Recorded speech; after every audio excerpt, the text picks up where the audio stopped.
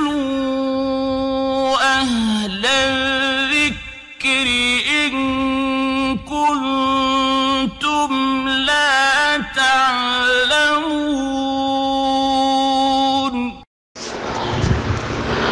ওয়ালাইকুম আসসালাম রহমতুল্লাহ বারাকাত বোন আল্লাহর প্রতি ভয় ভীতি আশা ভরসা ইত্যাদি সম্পর্কে প্রশ্ন করে একটু খুব বুঝিয়ে বলতে বলেছেন মোট কথা হচ্ছে বোন, প্রথমত কথা যে আপনি যখন আল্লাহর ইবাদতে দাঁড়াবেন, নামাজ হোক, রোজা হোক বা যে কোনো আল্লাহর ইবাদত, তখন আপনার মধ্যে থাকবে প্রথমত ভয়। ভয় মানে হচ্ছে যদি এই কাজ না করি, এই কাজটা যদি না করি তাহলে কালকে কেমতে আল্লাহর কাছে শাস্তি পেতে হবে। এই ভয়টা থাকতে হবে।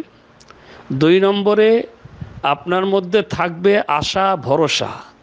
যে আল্লাহ তালার এই ইবাদতের মাধ্যমে আমি আল্লাহর জান্নাত লাভ করব ইনশা আল্লাহ তালা আল্লাহ তালা আমাকে জান্নাত দেবেন আর এই নামাজ, এই হজ জাকাত ভালো কাজ আমার জান্নাতের জন্য ওসিলা হবে, এই আশাটা আপনার মনে থাকবে।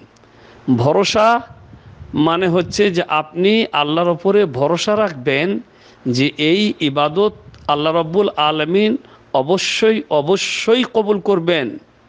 অবশ্যই আল্লাহ কবুল করবেন আর আল্লাহর কাছে নিরাশ অবস্থায় ইবাদতে দাঁড়াবেন না। যেমন আপনি নামাজ পড়ছেন আর মনে মনে ভাবছেন, কে জানে? কিছু কাজ হবে না হবে না, তা যাক, পড়েই নি, হোক বা না হোক, এরকম ভাবনা। বরং একেবারে ভরসা রাখবেন যে, না, কাজে আসবে ইনশাআল্লাহ। আল্লাহ অবশ্যই কবুল করবেন। তাহলে ভয় আর ভ- মানে আশা যে অবশ্যই আল্লাহ রবুল আলমীর কাছে এর জন্য কিছু পাবো আর ভরসা মানে আল্লাহ অবশ্যই আল্লাহ আমার ইবাদতকে নষ্ট করবেন না আল্লাহ অবশ্যই তা কবুল করবেন এই জিনিসগুলি থাকতে হয় أشرقت نفسي بنور من فؤادي حينما رددت يا رب العباد